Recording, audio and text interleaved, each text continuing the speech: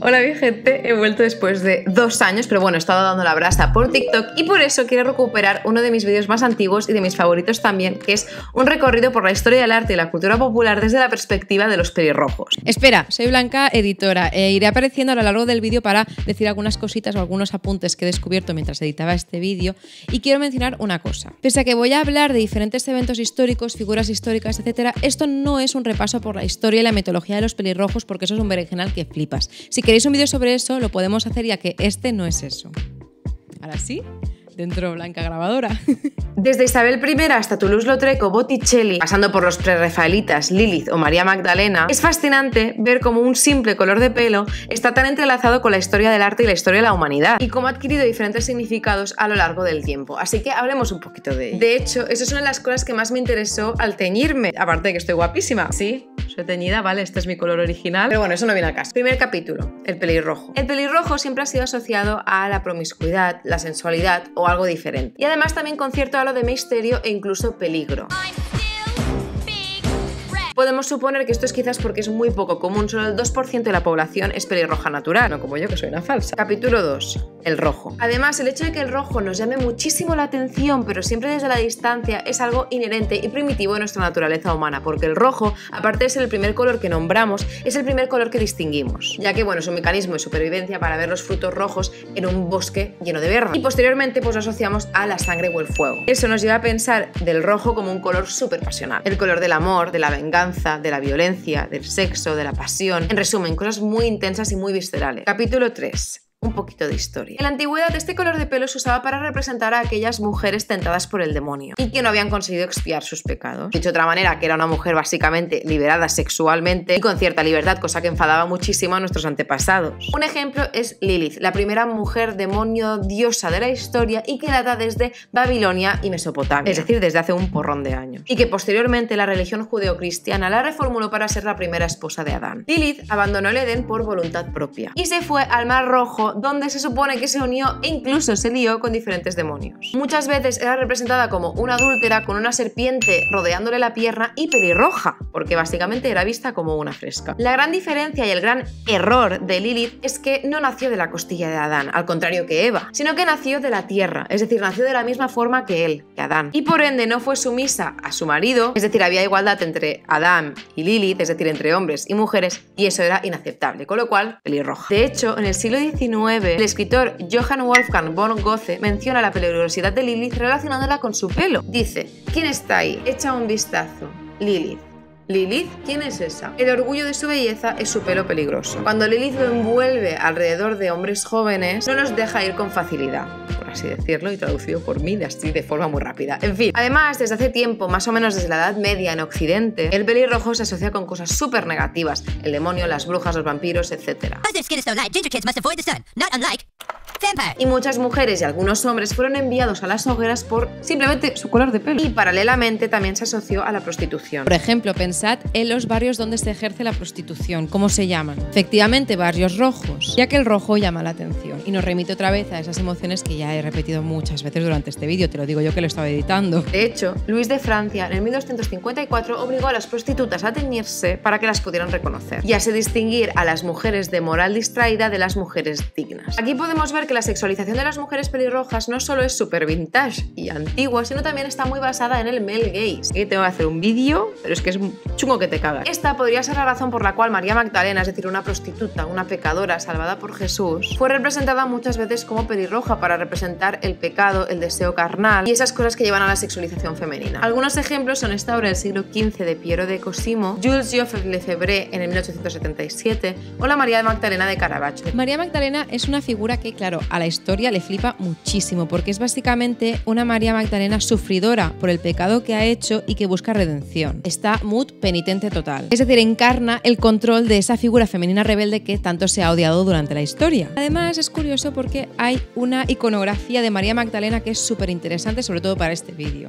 Hay una leyenda de María Magdalena que se entrelaza también con la de María de Egipto, que explica que tras la crucifixión de Cristo, María se convierte en ermitaña y poco a poco la ropa que llevaba pues se va deteriorando y acaba usando su pelo que va creciendo como vestimenta. Entonces hay muchísimas figuras e iconografías e imágenes de María Magdalena cubiertas de pies a cabeza, literalmente como si fuera cosa de la familia Adams, de un pelo generalmente pelirrojo. Lo he descubierto ahora y me parece súper interesante. Voy a investigar un poquito más para contaros. Pero bueno, os dejo algunos ejemplos. María Magdalena, al contrario de la Virgen María generalmente, ha sido también representada muchas veces con mucha gestualidad y muy expresiva. María Magdalena ha sido mostrada más emocional ante la muerte de Jesús que su propia madre, la Virgen María. Y eso probablemente ha contribuido a la idea de que las mujeres también llevadas por el pecado somos más emocionales. Y también puede haber promovido la idea de que las mujeres pelirrojas tienen pues un carácter más intenso. Realmente el hecho de ponerle a María Magdalena el pelo pelirrojo es una elección consciente y como explica en este libro, que lo voy a referenciar muchísimas veces y ahora hablaremos sobre él, su nombre, Magdalena, sugiere que viene de Magdala, que está por la zona del mar de Galilea. En esta zona hay muy pocos pelirrojos, por no decir ninguno, con lo cual el hecho de ponerle pelirroja es realmente por una intención de expresar todo aquello que hemos relacionado con el pelo pelirrojo, no porque lo dijera en la Biblia ni que fuera históricamente correcto. Pero de eso hablaremos en un rato. Otra figura similar es Cleopatra, que en muchas representaciones ha sido vista como pelirroja, pese a que estamos acostumbrados a imaginarla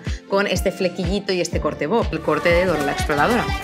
Tenemos también este ejemplo, que es un fresco que se ha encontrado en Pompeya, junto al hijo que tuvo con Julio César, Cesarión. Pero en realidad a la reina egipcia le gustaba teñirse el pelo con henna, cosa que le daba cierta tonalidad pelirroja. Además también usaban pelucas que tenían este color rojizo que conseguían a través de la palmera de los dátiles. Y a la vez Cleopatra es conocida por ser una mujer muy sensual, seductora e incluso ha sido llamada la boca de los 100.000 hombres. Ya supongo que entendéis la metáfora. Y sobre todo es conocida como aquella mujer de la historia que hacía enloquecer a los hombres más poderosos como Julio César o Marco Antonio, que iba saltando también de cama en cama de emperadores para conseguir más poder, etc. Estas cosas son muy relacionables con el estereotipo típico de las pelirrojas. a ver, ¿fue Cleopatra realmente pelirroja? Eso es una pregunta demasiado compleja, pero que medio exploré en este TikTok, que también, como dicen los youtubers, os dejo la descripción. Es un vídeo que hice cuando salió el documental de Cleopatra, en el cual afirmaron que 100% Cleopatra era negra y menciono qué pruebas tenemos al respecto y qué opinión era la mía. En fin. Y eso nos lleva también a Venus está aquí. Muchísimas Venus son pelirrojas y Venus es la diosa de la fertilidad, del amor y de la seducción. Y también el ideal de belleza. Pelirroja. Tenemos a Botticelli en el 1485, Bouguereau en el 1879, Henry Justice Ford en el siglo XIX, Henry Pierre Picot en el siglo XIX también, Tiziano en el 1525, Alexander Cabanel en el 1863, que es una de mis pinturas favoritas, este fresco de Pompeya en el cual la Venus parece tener un pelo pelirrojo,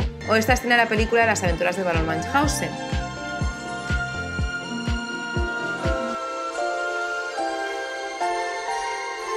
Básicamente, y dicho de otra manera, Botticelli me está tirando la caña y Tiziano me está llamando pipo. Una mujer históricamente súper pelirroja es Isabel I, que es famosa por su color de pelo, que además choca bastante con el nombre que tenía ella, que era la Reina Virgen. Todo lo contrario a lo que expresa el significado de su melena, pero a la vez, como nunca se casó, nunca tuvo hijos, nunca tuvo pareja pública y se supone que era virgen, eso lo comento en un vídeo de TikTok y desmiento o confirmo, pues justamente por eso tuvo muchísimos pretendientes porque era como una figura inalcanzable, contribuyendo a la idea de mujer pelirroja como algo exótico y extravagante. La palabra en inglés de pelirroja, es decir, redhead, tiene la primera evidencia escrita en el 1656, cuando apareció en The Scarus Linguae Romance at nace, no sé si es inglés o francés esta frase, pero bueno, de Thomas Cooper, también conocido como el diccionario de Cooper. ¿Por qué digo esto ahora? Porque este hombre era tan admirado por la reina Isabel I que lo hizo decano de la iglesia inglesa. Iglesia inglesa, iglesia inglesa. Intentarlo decir borrachos esto. Pero la cuestión es que además en ese momento en la Inglaterra del siglo XVI el pelirrojo se vuelve tendencia. Todas y todos querían ser pelirrojos y se volvieron completamente locos usando remedios como por ejemplo vitriol, también conocido como ácido sulfúrico,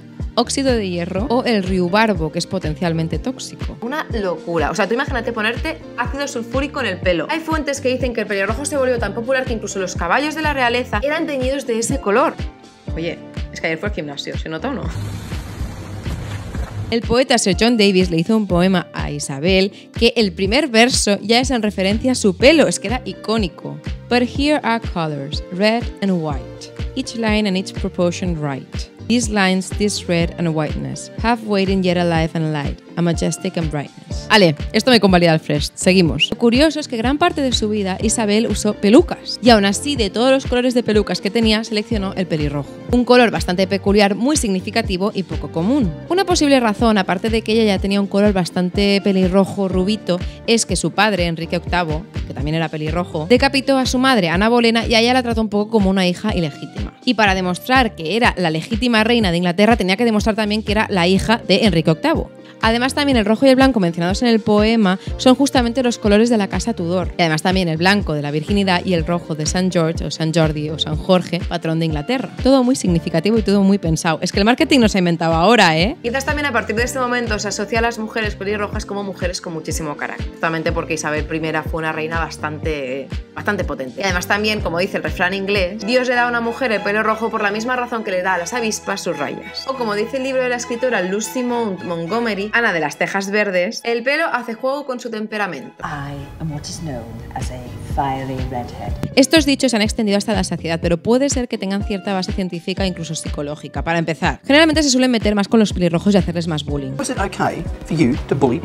Con lo cual, para sobrevivir a eso, reaccionarán teniendo más carácter y con más enfado. Además, hay un gen súper importante para los pelirrojos que es el MC1R, que también tiene un papel importante en la producción de adrenalina. Además, ha sugerido la idea de que quizás los pelirrojos no solo producen más adrenalina, sino que además acceden de forma más directa y más rápida a ella. Pero bueno, esto no justifica la discriminación que sufren, ¿vale? O sea, mi padre es pelirrojo y tiene un temple que flipas. Hay artistas que se obsesionaron completamente con estas melenas, el mencionado antes Tiziano, que muchas mujeres protagonistas de sus cuadros son pelirrojas, tanto que este color, este pigmento, incluso el tinte, es conocido como rojo Tiziano. De hecho, en los 80 las Barbies pelirrojas eran conocidas como Barbies Tiziano. No puedo hablar de artistas obsesionados con pelirrojas sin mencionar a mis queridísimos pre-rafaelitas del siglo XIX. Acá el mejor movimiento artístico de la historia, porque lo digo yo. En fin. He dicho, casos Aquí hay como un cambio bastante drástico y se empieza a idealizar el pelo pelirrojo. Pensad en John William Waterhouse, Millais o Rossetti, que no para. Toma pelirroja, toma pelirroja, toma pelirroja, toma pelirroja. Bueno, ya supongo que lo entendéis. Muchas pelirrojas. En el libro que os he mencionado, Red, A Natural History of the Redhead,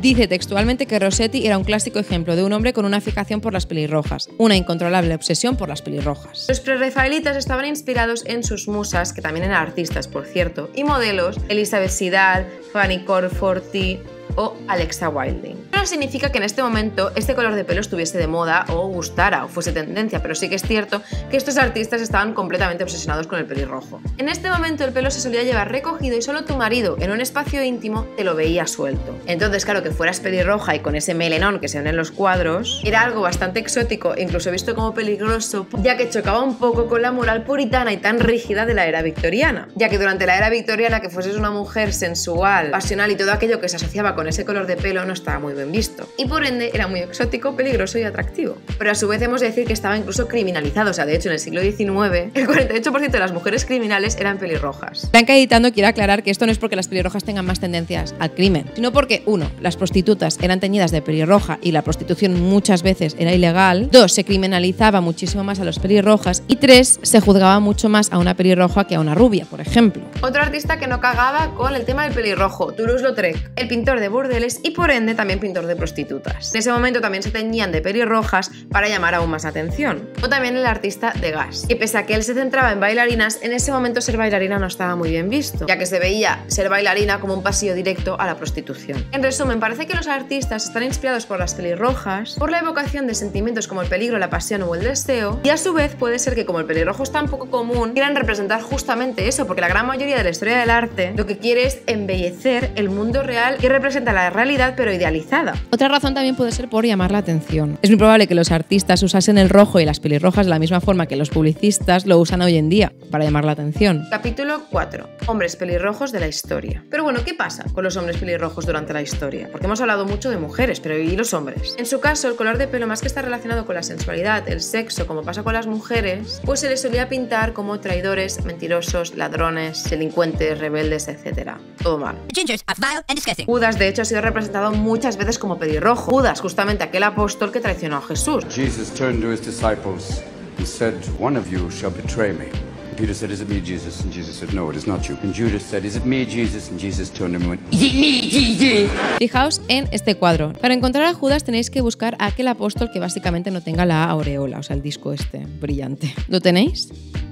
Pues ahora respondedme, ¿de qué color tiene el pelo? Efectivamente, es pelirrojísimo. Hay varias teorías de por qué sucede esto, pero la más potente es que viene de ideas antisemitas de la Edad Media y también de la Inquisición española, donde se veía a los judíos como aquellas personas malas que asesinaban a cristianos, entre ellos a Jesús, y que además también raptaban niños e historias de estas. Muchos judíos eran pelirrojos y este estigma y ese prejuicio por las personas judías se trasladó también a personas pelirrojas y con pecas. Vamos, que estoy jodidísima. Por ejemplo, en la Alemania del medievo se solía llamar a las pecas Judastrek, que significaba barro judío, o incluso se puede traducir a mierda de judío o mierda de Judas. Y como muchos pelirrojos, por no decir todos, tienen pecas, pues todo va unido. Y ese look, más en la cultura popular de brujas pelirrojas, demonio, prostitución, etc., pues creó desconfianza también hacia los hombres pelirrojos. También hemos de decir que hay varias veces que Jesucristo ha sido representado con eh, melena cobriza. Pero entonces lo que pasa es que la tienen unas facciones más dulces a Jesús en comparación con Judas, como por ejemplo mirar esta obra, donde se ve a ambos con melenas pelirrojas, pero a Jesús se le ve monísimo de la vida y Judas en cambio se le ve desaliñado, despeinado y como al aspecto físico. Otro ejemplo es esta obra. Según las escrituras, Jesucristo fue crucificado junto a dos hombres más, dos ladrones, y en este cuadro se usa el pelo súper rojizo para diferenciar a Jesús bueno que murió por nuestros pecados de el ladrón malo malísimo. No lo vayamos a confundir. Es decir, el pelirrojo no tenía punto medio. Era para un super pecador o eh, super santo. No hay, no hay punto medio. Van Gogh, supongo que en representación de los pelirrojos, puso también a su Jesucristo con melena cobriza. Así que podemos decir que lo que distingue a los pelirrojos buenos como Jesús o María Magdalena de los pelirrojos malos como Lilith o Judas es el género y la clase social. Es decir, resumen rápido de Blanca Editora. me está encantando, me siento como una presentadora de tele. Hemos hecho este esquema. Pelirroja mujer de clase alta, guay. Pelirroja mujer de clase baja, o prostituta, peor aún. Pelirrojo, hombre de clase alta, bueno, pues ¿qué le vamos a hacer? Pero claro, hombre pelirrojo de clase baja, es que estás jodidísimo. Un periódico de Yorkshire nos da otra explicación según el pelirrojo que es aceptable y el pelirrojo que no. En la publicación The Philosophy of Red. Dice que el pelo pelirrojo y liso denota fealdad, pero que si le das un poquito o así un ricillo, denota traición y la intención de sacrificar a viejos amigos para conseguir algo a cambio. Es decir, egoísmo. En fin. Otra razón de esta desconfianza hacia los pelirrojos es que muchos escoceses, galos o pictos, la mayoría pelirrojos, eran rivales directos de Inglaterra. Así que asocian ese color de pelo como warning, peligro, nos atacan, etc. Algo similar pasa en la antigua Roma, que cuando los romanos intentaban expandir el territorio hacia el noreste de Europa, se encontró con un ejército pelirrojo, porque eran los vikingos, los nórdicos, etc., muy difícil de derrotar, y asociaron este color de pelo a su mala suerte en el combate. Además, en el siglo XIX este prejuicio aumenta aún más y básicamente se hace discriminatorio ya que se creía que los irlandeses, en su mayoría pelirrojos, eran éticamente inferiores. Este círculo vicioso lo explica muy bien en una sola frase en este libro. Dice, porque claro, cuando el prejuicio justifica el racismo, el racismo fortalece el prejuicio. Y así, pues un pez que se muerde la cola y un círculo súper vicioso y injustificado. Una de las posibles razones de estos estereotipos tan negativos y que no quiero justificar con esto es que el cromosoma responsable del pelirrojo no fue descubierto hasta el 1995, es que está hace dos días. Entonces, claro, durante estos 50.000 años de historia, la aparición de una persona pelirroja era todo un misterio y las personas buscábamos explicación. Se ha visto como símbolo de divinidad o todo lo contrario, como símbolo del demonio. Se ha denigrado o incluso se ha celebrado, etc. Capítulo 5. Escritores. No podíamos hablar de la historia del arte sin hablar un poquito de literatura, ya que varios escritores han mencionado este color de pelo y le han asociado diferentes significados. Por ejemplo, a Quevedo tampoco le gustaba mucho este color de pelo. Hizo uso del simbolismo de pelirrojo para meterse con el licenciado Cabra en su novela satírica El Buscón. Quevedo le hace un repasillo criticando todo el físico de este hombre y no se quedó corto cuando habla de su melena. Dice, él era un clérigo cerbatana, largo solo en talle, es decir, lo está llamando rata, una cabeza pequeña y pelo bermejo, es decir, pelirrojo. En aquel momento el pelirrojo no solo se asociaba a la maldad, sino que tenía un refrán propio que le dejaba a la altura del betún. Rubio bermejo, mal pelo y peor pellejo. Toma ya. Otro escritor que hizo referencia a este color de pelo y a su misticismo y misterio es Mark Twain, que dijo, mientras el resto de la raza humana descendemos de los monos, los pelirrojos vienen de los gatos. O Conan Doyle, que centra uno de sus misterios de su famosísimo personaje Sherlock Holmes en una investigación de una hermandad de misteriosos pelirrojos, The Red-Headed League. También tenemos a Jonathan Swift en el libro Los viajes de Gulliver perpetuando este estigma con los pelirrojos. Se observa que los pelirrojos de ambos sexos son más libidinosos y traviesos que el resto, a los que sin embargo su superan en fuerza y actividad. Otro ejemplo es Silvia Plath, que acaba su poema Lady Lazarus diciendo, Cuidado, de la ceniza me haz, con mi pelo rojo, y me como a los hombres como la Es decir, asocia peligro con pelirrojo. Muchos escritores a lo largo de la historia también han promovido esta idea de que el pelirrojo tiene algo que ver con Judas y Judas no era buena persona, con lo cual no mola esta relación. Para empezar tenemos a Shakespeare en el 1559 en la obra As You Like, en que el personaje de Celia describe el pelo de Orlando de esta forma, algo más marrón que el pelo de Judas. Después también tenemos a John Dryden, que decía que tenía dos piernas izquierdas y el pelo del color de Judas. Charles Dickens en Oliver Twist, eh, aún peor, os leo. Era un judío muy viejo y descuidado. Su repulsiva cara de villano estaba oculta tras una mata desaliñada de pelo rojo. Capítulo 6. El pigmento rojo. Antes de continuar con este camino por la historia del arte, hemos de recordar que el pigmento rojo era un pigmento muy accesible para los artistas. De hecho, el primer pigmento de la historia fue óxido de hierro, un color rojizo, ocre barra terracota. Y el rojo, además, es el pigmento más abundante de la Tierra, con lo cual también es algo importante mencionar cuando estamos haciendo este vídeo. Capítulo 7. Actualidad y cultura popular. Hoy en día seguimos viendo a las mujeres pelirrojas como sensuales y sexy. Si no pensad en Jessica Rabbit, aunque paralelamente, especialmente para los hombres, se sigue haciendo las típicas bromas de los pelirrojos no tienen alma. Hemos visto que se remonta a siglos atrás. Ginger kids have no souls. No sé, es algo extraño lo de la representación de los pelirrojos en la cultura popular y en la historia del arte. En fin, en la actualidad pasa un poco como la historia. Los hombres pelirrojos en la cultura popular, en el cine, en revistas, etc. Los hombres pelirrojos son vistos como raritos, outcast y este tipo de personajes. Y en cambio las mujeres pelirrojas como seductoras peligrosas que enloquecen a los hombres. De hecho, Dolly Parton menciona a una mujer con pelo cobrizo y le suplica que por favor no le robe a su chico en su famosísima canción de Jolie.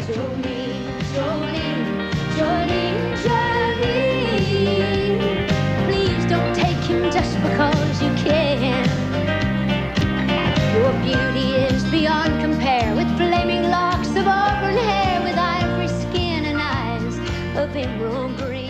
O también otro ejemplo, la canción de Foxy Lady de Jimi Hendrix. Parece que viene del término Foxy Lady? Que se usa para definir a aquella mujer no solo pelirroja, sensualmente atractiva y sexualmente activa. Este término fue súper popular durante los 60 y los 70, pero puede ser que venga de una cosa que dijo Aristóteles. Dice, los rojitos son de mal carácter, tienes a los zorros como testigo. ¿Los zorros de qué color son? Pelirrojos. Además, en el cine hay esta frase o esta idea de que si quieres hacer a una rubia mala o a una chica mala que es rubia, lo único que has de hacer es teñirla de pelirroja. Tenemos, por ejemplo, a Jean Harlow en Red Headed Woman o un ejemplo súper claro es Mística, que cuando es ella pues es rubia, pero cuando se transforma se vuelve pelirroja. Pero es que la cosa también funciona al revés, es decir, si quieres controlar a una chica pelirroja o hacerla una chica buena, lo que has de hacer es teñirla de rubia. Esta misma estrategia es la que usó Orson Welles con Rita Harlow en la película La Dama de Shanghái. El male gaze de las mujeres pelirrojas se multiplica por mil con el cine. Un ejemplo es Jessica Rabbit o otra Jessica, esta vez Jessica de True Blood. Un personaje al cual se le regenera la virginidad. No me preguntéis eh, cómo pasa eso porque no lo sé, pero bueno, se le regenera la virginidad cada vez que mantiene relaciones sexuales. Encarnando así el tópico y fantasía masculina y del male gay de la chica inocente y virginal pero que a la vez es súper erótica y tiene un montón de experiencia y te lo hace genial. Eso también explica la otra cara de la moneda, donde los personajes masculinos pelirrojos nunca son los héroes, los machotes o los personajes más viriles de la historia. Desde los Simpsons hasta el jorobado de Notre Dame, pasando por Robin de Batman o mi preferido, Ron Weasley. ¿Mi nombre te hace gracia? No necesito preguntarte el tuyo. Pelirrojo y túnica de segunda mano. Debes de ser un Weasley. También hay muchísimos villanos pelirrojos. Y otra vez, las villanas pelirrojas son vistas como seductoras e hipersexuales, como por ejemplo Poison Ivy o Fiona Pelopi en James Bond, otra vez villanizando la sexualidad femenina y asociándolo con el pelirrojo. Wild. You should be locked up. Y los villanos hombres pelirrojos son representaciones súper poco atractivas, sensuales, e incluso ridículas o como monstruitos. Algunos ejemplos son Chucky, Síndrome de los Increíbles, o Lupdan, que no solo es pelirrojo, sino que además es un leprechaun, una figura mitológica irlandesa similar al duende o al gnomo, perpetuando así quizás de forma inconsciente los estereotipos de los irlandeses que hemos mencionado antes. Pero a su vez no podemos negar que hay pelirrojas y pelirrojos en las pantallas que no tienen nada que ver con estos tópicos. En el caso de las mujeres tenemos a Rose Dawson, Merida de Bray, la Sirenita, Kim Possible, Jessie de Toy Story, Fiona, que en vez de ser mujeres seductoras son mujeres con mucha pasión y con las cuales ese supuesto mal temperamento ahora es vivacidad y energía. La rebeldía del tópico de mujer pelirroja se convierte en valentía e independencia, rompiendo con los estereotipos tan arraigados a nuestra historia, especialmente en Occidente, cosa que me parece súper interesante y fascinante. Esto, este libro que he mencionado ya 58 veces, que parece que me paguen, parece achacarlo a otra vez el género de los eh, personajes infantiles. Es decir, muchas veces los personajes infantiles masculinos pelirrojos siguen teniendo estas características negativas y peyorativas que hemos mencionado. Pero los personajes femeninos pelirrojos no. Un ejemplo muy claro es lo que sucedió con este episodio de South Park. Ah, nasty, yuck! Ah, sick! Gross! Yuck! Tras emitirse este episodio, se hizo un día Kick a Ginger o Punch a Ginger, es decir, pega una patada a un pelirrojo o pega directamente un puñetazo a un pelirrojo, cosa que eh, provocó bastantes estragos, que perpetuó el bullying que muchas veces se hacen a los niños pelirrojos. Pero es que esto no era una chiquillada, es que la publicidad también ha usado estos estereotipos en contra de los niños pelirrojos. Por ejemplo, en 2009, que es que es hace nada, en Inglaterra, había una postal de Navidad en la que aparecía Santa Claus con otros niños y ponía Santa quiere a todos los niños, incluso a los pelirrojos. No sé, me parece muy interesante porque parece que de alguna forma sigamos perpetuando todo aquello que hemos comentado que es que viene desde la historia. O sea, seguimos hoy en día con esta fijación.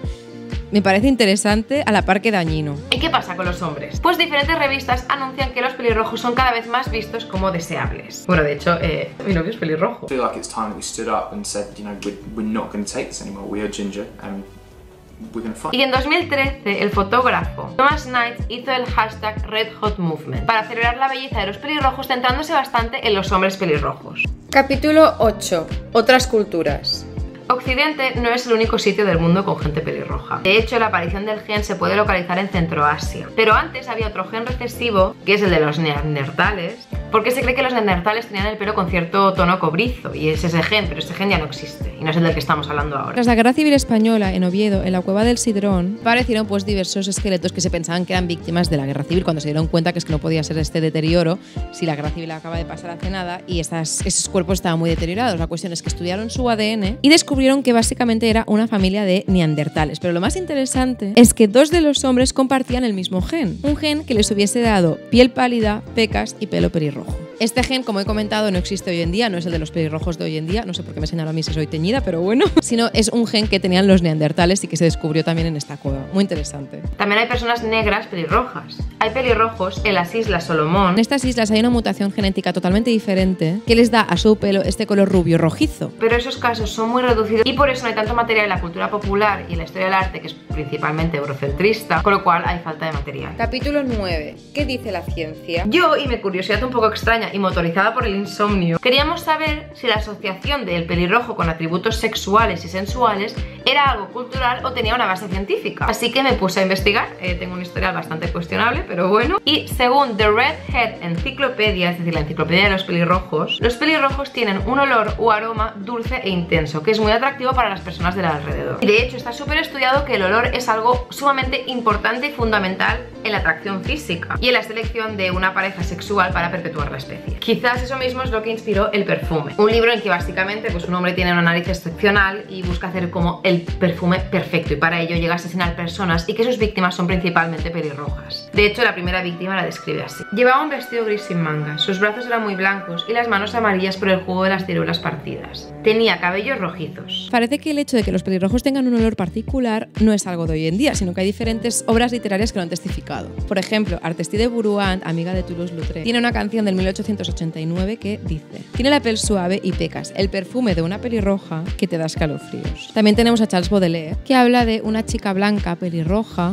y la piel llena de pecas y con cierta dulzura, dulzura de sweetness, o sea, de algo que, que se huele o que, o que tiene gusto, no dulzura de rasgos dulces, no sé si me explico. De hecho, según el doctor Scott Barry Kaufman, el rojo es un color tan llamativo que asociamos sin querer a la juventud y la fertilidad. What colour hair? Red. Oh, hair. Cosa que es muy importante para nosotros porque como el tema de perpetuar la especie está intrínseco en nosotros, aunque no queramos tener hijos, es algo que primitivamente nos atrae. Oh, how do you like your women?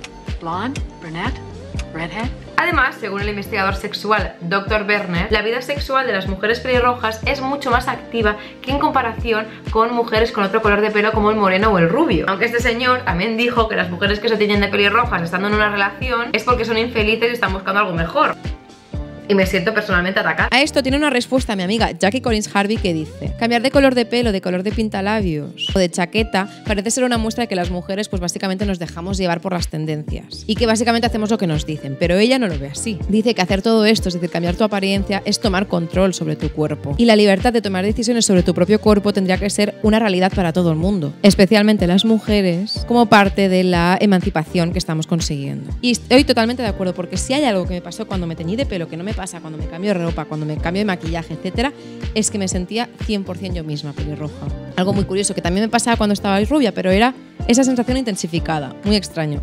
Os lo recomiendo mucho. La cosa no acaba aquí con el tema de las vidas sexuales de las pelirrojas, porque un informe afirma que las pelirrojas llegan al orgasmo mucho más que otros colores de pelo. Un 41%, que me parece poco, pero bueno, en comparación con el 36% rubia y el 31% de las morenas. Quizás esto tiene que ver con el hecho de que las personas pelirrojas suelen ser más sensibles, tanto para bien como por ejemplo el placer sexual, las caricias, etcétera, como para mal como por ejemplo el dolor físico. Y no solo eso, creo que es importante mencionar el Red Dress Effect, es decir, el efecto del vestido rojo, que dice que la gente que lleva ropa roja es considerada más atractiva que llevando otros colores. Eso quizás también se puede aplicar a la melena, ya que llevas contigo puesto siempre algo rojizo.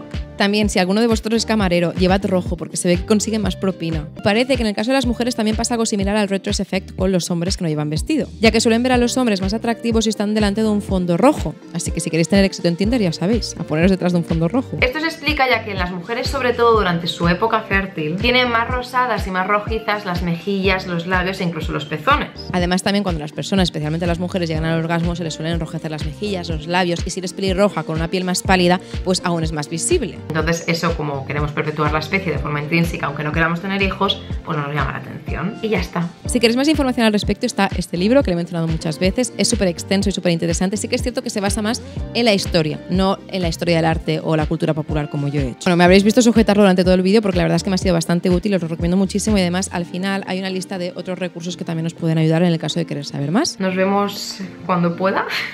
Es hacer un vídeo a la semana. No sé si lo conseguiré. Si has llegado hasta ahí, comenta de qué color quieres que ponga la bolita la semana que viene. Y a ver si os hago caso. No lo sé. No sé, igual me olvido. No sé. Y ya está. Adiós.